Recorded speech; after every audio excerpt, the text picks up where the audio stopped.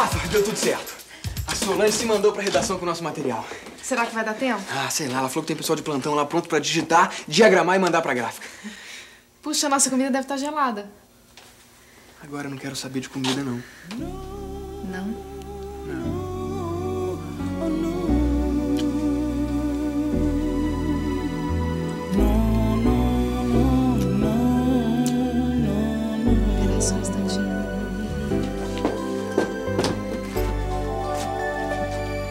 Eu Eu tô...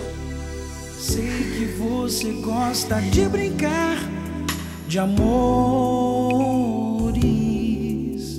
mas só comigo. Rafa, você tem que dormir toda noite na casa dos seus avós?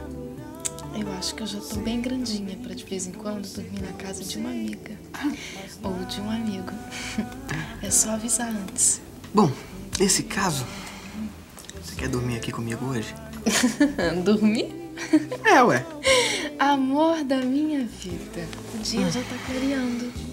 Ih, olha só, é mesmo.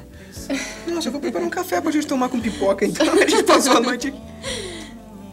E os seus avós? Eu já avisei pros meus avós. Já avisou? Já.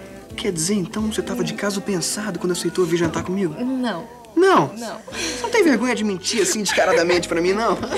Não, eu tava querendo, tá bom? Mas se não rolasse, tudo bem. Mas aí você entrou com toda essa disposição É. Eu acho que a gente tem um tempinho ainda pra não dormir antes de abrir a academia. e eu adoro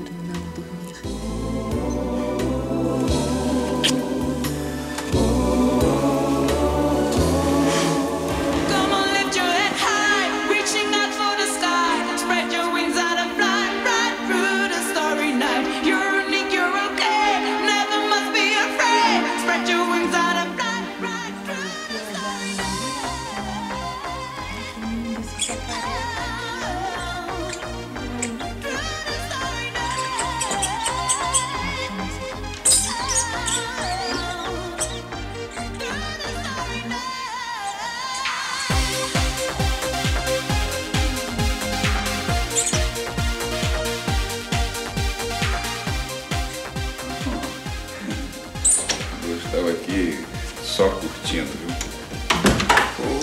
Como é bom ver vocês dois se dando tão bem.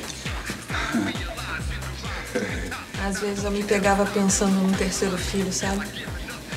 Mas separada ficava difícil, né? Maria Clara não saiu de dentro de mim, mas. Mas eu já. eu já sinto ela como se fosse minha filha, Roberto.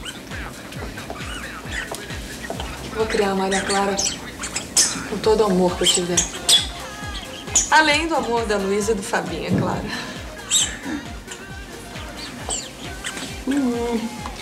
Ah, a Vivian avisou que vai para os Estados Unidos daqui a 15 dias. Eu queria te fazer uma proposta. Eu queria que você e as crianças viessem morar comigo.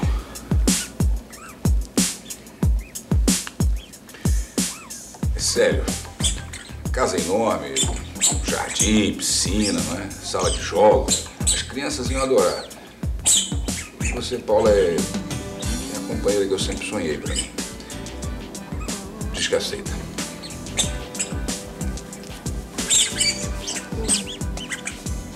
Não sei, Roberto. Eu vou pensar e prometo que eu vou pensar com todo carinho.